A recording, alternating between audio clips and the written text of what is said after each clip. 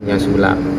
Tapi sulap itu sebagaimana kejadian yang ada antaranya Fir'un yang pakai dengan tukang sihirnya dan Nabi Musa. Nabi Musa pakai mujizat sedangkan tukang sihirnya tukang sihirnya Nabi Musa itu adalah pakai ilmu sulap bukan memakai setan, bukan memakai jin. Karena itu um, ulama tidak memperbolehkan sulap Sulap itu adalah memang menggunakan alatul hindisah, alat-alat rekayasa. Itu pun nggak diperbolehkan. Ada yang sudah mengeluarkan fatwa yaitu Yordania bahwa sulap itu boleh digunakan hanya untuk permainan, hanya untuk hiburan, bukan untuk sebagai polisi loh ya. Ya. Jadi jangan kemudian Marcel ini adalah sebagai kayak penyidik sebagaimana hakim kalau memang ada dari warga melakukan kesalahan, maka laporkanlah pihak yang dirugikan. Dirugikan. Nah, masalah ilmu sulap itu banyak yang nggak memperbolehkan, nggak memperbolehkan, apalagi nanti yang bisa membahayakan diri. Ada beberapa keilmuan yang model klinik ini supranatural itu diperbolehkan dengan syarat pertama adalah al Orangnya adalah memang ahli kebaikan. Kedua, dia ini adalah mutasyari berpegang syariat betul. Kalau nggak memegang syariat jangan dianggap. Kemudian adalah uh, al-ikhtiyar orang ini normal. Adamul khilafi tidak melanggar syariat nomor tiga adalah tidak membahayakan antara satu dengan yang lainnya. Walaupun nanti itu ilmu itu hebat tetapi membahayakan orang lain maka maka apa? Maka itu tidak diperbolehkan. Dan memang apa yang dikatakan bahwa banyak orang-orang yang katanya Kiai Marsudi Suhud bahwa dukun dipanggil kiai yang kiai dikatakan dukun rukyah walaupun ada yang dikatakan paling syariah sendiri itu kadang-kadang juga pakai trik. Ya di sini ada beberapa magnetnya ada kayak tenaga dalamnya. Padahal itu berarti alatul hindisah alat-alat rekayasa. Dan itu tidak diperbolehkan. Karena itu dari perukia-perukia sendiri setelah saya pantau yang di sini ya kalau memang rukyah rukyah aja. Kalau memang apa kalau memang rukyah rukyah saja. Nggak usah mengedarkan mengedarkan seperti tukang obat. Ya. Ini kan sama aja kayak tukang obat yang di jalanan tetapi ini adalah memakai manci nah ini yang diharuskan. Jadi kemudian mempromosikan. Akhirnya satu dengan yang lain bertaruh. Karena itu kita menginginkan umat ini adalah yang rukun Nah, masalah Ustadz Faizar uh, masalahnya dengan kitab Syamsul Ma'arif kalau saya lebih baik memang dihindari. Tetapi dari pihak-pihak yang yang mengajarkan kitab itu jangan dituduh sebagai sebagai pengajar kitab sihir. Karena di Bogor ini terutama Bogor Barat mengaji kitab Syamsul Ma'arif itu banyak. Dan memang ada anak orang yang juga boleh. Yang penting tadi apa? Syaratnya mutasyari. Berpegang dengan syariat walaupun itu pakai rukyah syariah tetapi dia tidak berpegang pada syariat juga nanti tidak boleh jadi kita jangan tertipu apa, pada masyarakat bahwa tertipu dengan embel-embel syariah. Ada yang tanya? Tapi kalau dari MUI sendiri melihat Marshall itu masih seperti apa sih Pak? Masih uh, lantasnya pesulap biasa menghibur, mengedukasi atau? Uh, sementara ini secara pribadi bagi saya, saya lihat memang gak menghibur. Kita lihat ada kita dari realita kenyataan bahwa itu umat terbelah ada yang mencaci Marcel ada yang mencaci Gus Udin Gus Udin penipuannya pihak yang belum melaporkan nah ini yang harus diikuti etapa-etapa aja. Jadi Marcel adalah kalau memang hibur-hiburlah sebagai pesulap dengan memakai yang memang hibur. Jangan lihat pala pesulap-pesulap. Yang lain tidak akan membuat membuat gaduh.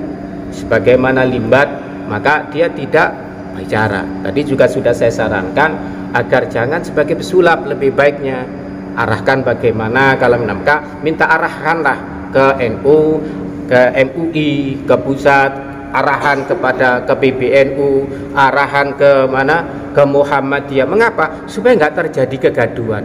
Umat ini tidak terbelah. Karena dalam Ibnu Kasir itu dijelaskan bahwa yang termasuk sihir itu adalah namimah.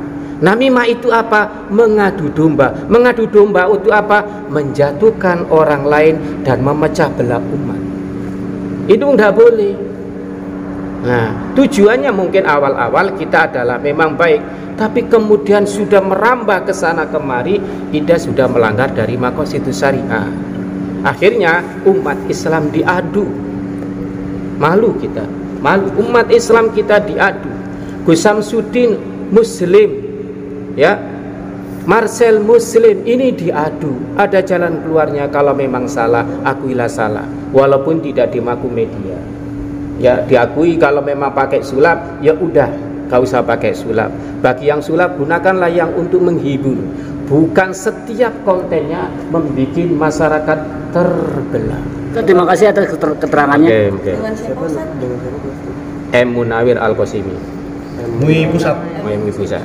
Ya tapi jangan mengatasnamakan anggota MUI nggak apa-apa tapi mengatasnamakan jangan. Karena MUI belum mengeluarkan apa itu adalah rananya siapa? Rananya Pak Marsudi Suhud. Oke okay, Pak. Apa yang dia katakan sangat menyeberangi ya menyeberangi Ya, kenapa saya mengatakan menyeberang? Dia sama sekali tidak menerangkan bahwa perbuatan yang dilakukan oleh Gus Samsudin itu adalah sesuatu perbuatan yang menipu, yang mengeksploitasi agama atau menjual jimat-jimat yang berbau agama. Ya, dengan pernyataan bahwa itu adalah sesuatu yang berasal dari Allah dan lain sebagainya. Sedangkan di sini oknum MUI ini hanya mengatakan dengan beberapa kalimat saja. Baik termasuk sihir itu adalah namimah Namimah. Namimah itu apa? Mengadu domba. Mengadu domba. Mengadu domba itu apa?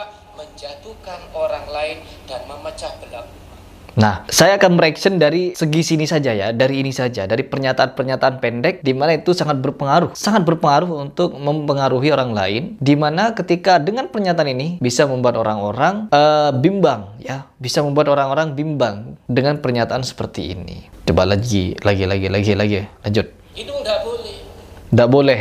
Itu tidak boleh ya.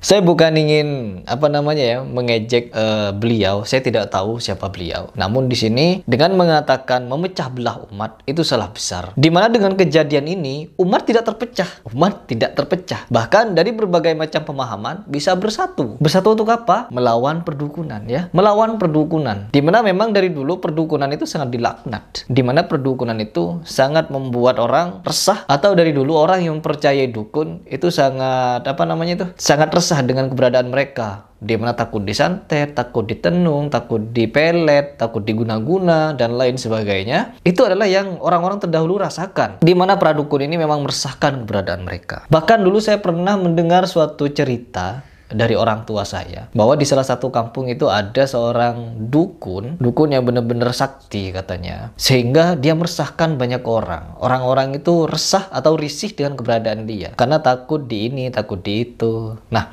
itu yang terjadi, stigma yang terjadi dari dulu seperti itu, ya. Di mana kalau kita melihat seorang dukun yang ada itu hal-hal yang aura-aura gelap, aura-aura yang tidak menyenangkan, sehingga sehingga kita takut dengan keberadaan mereka. Sedangkan sekarang keberadaan dukun ini menjadi tertawaan. Karena apa? Mereka memang pantas untuk ditertawakan. Mereka pantas untuk ditertawakan karena dengan sikap dengan perbuatan, ucapan, tindakan mereka itu sangat lucu-lucu sekali. Karena yang mereka lakukan adalah uh, membuat dunia halusinasi mereka seolah-olah nyata. Itu yang dilakukan dukun. Itu yang dilakukan mereka. Oke? Okay? Seperti itu. Dan mengatakan pecah belah. Wow, ini sangat luar biasa salah ini. Sangat luar biasa salah. Kita itu tidak terpecah belah, malahan bersatu untuk melawan dunia perdukunan. Dan seharusnya Anda anda juga memberikan fatwa kepada para umat agar terus dan semakin bersatu melawan dunia dukun ini ya untuk memberantas perdukunan bukan dengan cara seperti ini. Menurut saya kurang tepat. Coba lanjut. Nah, tujuannya mungkin awal-awal kita adalah memang baik tapi kemudian hmm? sudah merambah ke sana kemari kita sudah melanggar dari konstitusi syariah Hmm, melanggar? Kata siapa melanggar? Merembet ke mana-mana. Apa yang dirembet? Dengan kejadian Samsudin kemarin yang dibongkar oleh Marcel Radival, justru kita bisa membongkar kedok-kedok yang lain. Orang-orang yang mengaku memiliki ilmu supranatural pada bermunculan. Baik yang mendm saya, baik yang ngechat atau dan lain sebagainya. Banyak orang yang langsung mendm atau ber apa namanya itu? Atau berdialog langsung dengan saya dan narasinya sama, narasi kebodohan ya, narasi kebodohan dan narasi kehaluan yang mereka lakukan. Nah, sekarang merembet, bener. Jadi merembet ke mana-mana, semua dukun yang lagi bersembunyi keluar, sehingga mereka mempermalukan diri mereka sendiri. Sehingga masyarakat tambah terbuka, sehingga masyarakat tambah tahu bahwa dunia dukun adalah dunia yang sesat, dunia yang salah, dunia yang terlaknat, dunia yang hanya menjelaskan tentang kehaluan mereka. Dunia yang hanya membuka aib mereka sendiri, yaitu kebobrokan teknik trik yang mereka lakukan. Itu ya, kalau menurut saya merembet ya merembet itu, bukan merembet kepada agama. Justru dengan merembetnya hal ini, mereka semakin terbukti dengan membawa ayat-ayat Allah, mereka sudah menyalahi syariat. Menyalahi syariat, sangat-sangat menyalahi syariat. Harusnya yang ditegur adalah mereka para dukun, bukan orang yang membongkarin mereka. Gimana ini? Gimana? Lanjut. Ya, umat Islam diadu. Enggak, enggak diadu. Umat Islam Siapa yang ngadu? Siapa yang ngadu? Nggak ada. Mana nih ada orang Islam lagi perang? Nggak ada. Situ saja yang lagi membuat narasi adu-aduan. Apa jangan-jangan? Apa jangan-jangan? Ya udah lanjut. Kita diadu. Gus Samsudin Muslim. Ya, ya. ya. Marcel Muslim. Ini okay. diadu. Ad oh,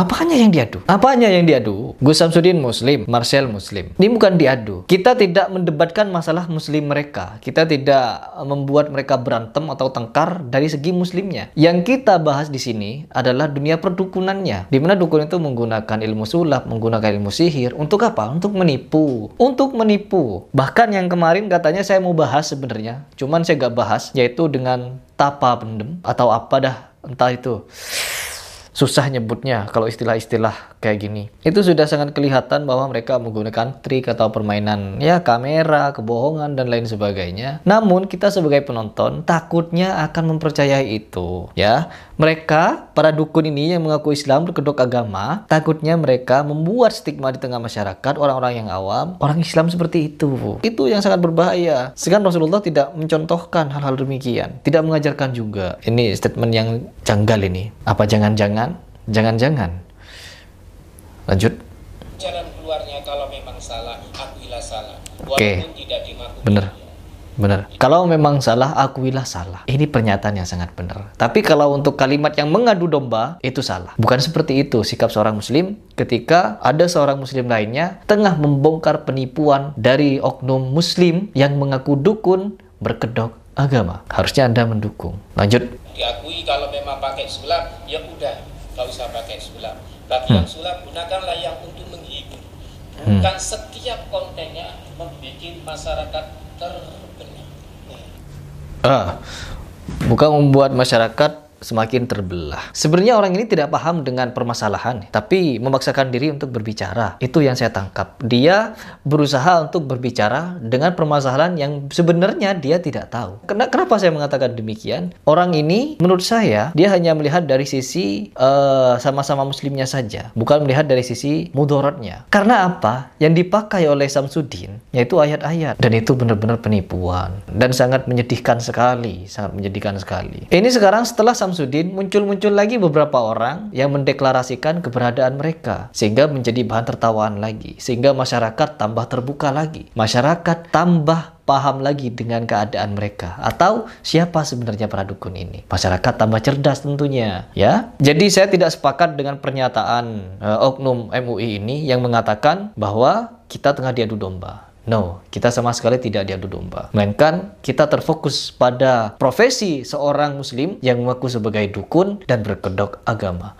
Menggunakan ayat suci untuk menipu, membohongi, dan menggambarkan kehaluan mereka. Ingat, Al-Quran bukan bahan untuk dibuat halu-haluan.